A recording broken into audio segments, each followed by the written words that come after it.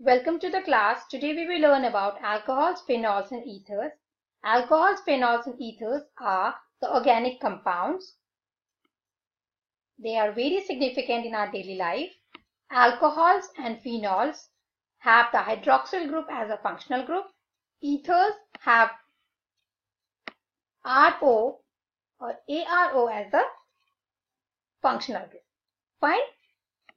Now When the hydroxyl group is attached with the alkyl substituent, then it is known as the alcohol. When the hydroxyl group is attached with the aryl substituent, then it is known as phenol. For a very general example for the alcohol is ethanol. Ethanol has the chemical formula C2H5OH. This is used as an antiseptic, also known as rectified spirit.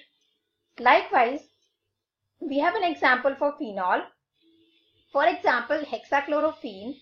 Hexachlorophene is used in the mouthwashes, deodorant soaps and medical skin cleansers. Phenols are also used for manufacture of dyes, resins, etc. In fact, you know, uh, alcohols are very popularly, popularly used for the synthesis of other classes of organic compounds such as alkanes, haloalkanes, ethers, aldehydes, ketones, acids, etc. Fine. And ethers. Ethers, we have a general example, diethyl ether. Diethyl ether is a very known solvent for the industrial applications. So we can understand that alcohols, phenols and ethers are very significant in our daily life. Now we will understand how are these formed. These are formed by the replacement of the hydrogen atom. Alcohols are formed by the replacement of the hydrogen atom by the OH group. So here from the alkane we have this alkyl substituent and here hydrogen atom. So this hydrogen atom is being replaced by the hydroxyl group and we get the alcohol. Likewise from this benzene, this is an aromatic hydrocarbon we abstract this hydrogen atom, substitute with the hydroxyl group and we get the phenol. You can see here one hydrogen atom has been abstracted and here OH group is attached.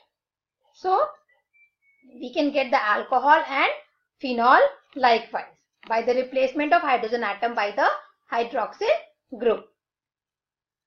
Now let us see how can we get ethers? Ethers are formed by the substitution of the hydrogen atom in an hydrocarbon in a hydrocarbon by the alkoxy group. This is known as alkoxy group or replacement by the aryloxy. This is your aryloxy. Okay. This is your aryloxy group. So when alkoxy or the aryloxy group replaces the hydrogen atom, then we get the uh, um, organic compounds ethers. We can also get the ethers from alcohol. When alcohol is dehydrated, dehydrated means the removal of water molecule. What is removed? A molecule of water. Then we get ethers. So alcohol on dehydration give ethers. Okay.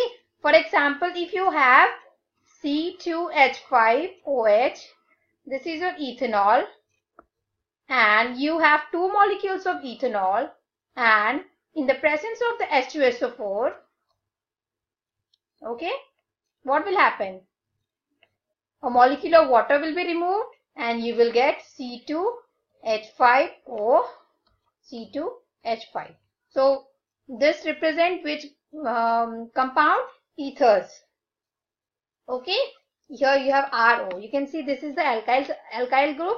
So this is the example for ROR. Likewise, we can form examples or we can form the compounds for the aryloxy group. So today we have learned about the alcohols, phenols and ethers.